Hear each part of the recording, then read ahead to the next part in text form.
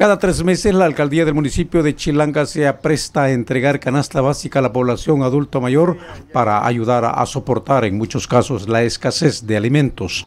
Hoy estamos entregando a lo que es la canasta básica solidaria al adulto mayor, eh, a los cantones. El día 20 hicimos entrega a lo que era el casco urbano.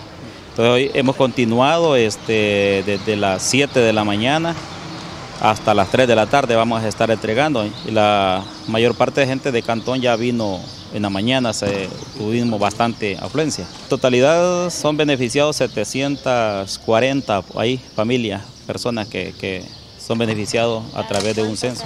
Según el alcalde, el beneficio se ampliará a otras personas a quienes la alcaldía ha focalizado mediante un sondeo sobre la población adulto mayor y discapacitados.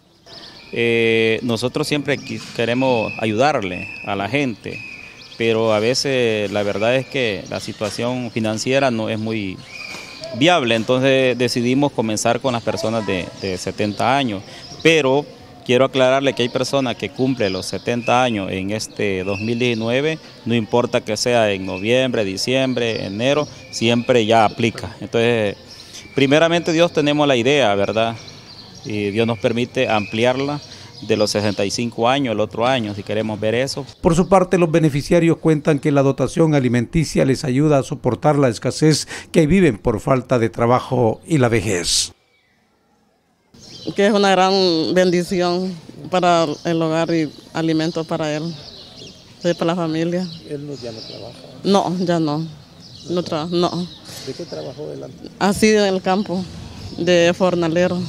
Pues muchas muchas cositas, lleva azúcar, fósforos, paquetes y aceites, lleva muchas cosas. Contenta, sí. ¿Cuántos son en su familia? Llevo harina masa, sí. aceite, viste sardina.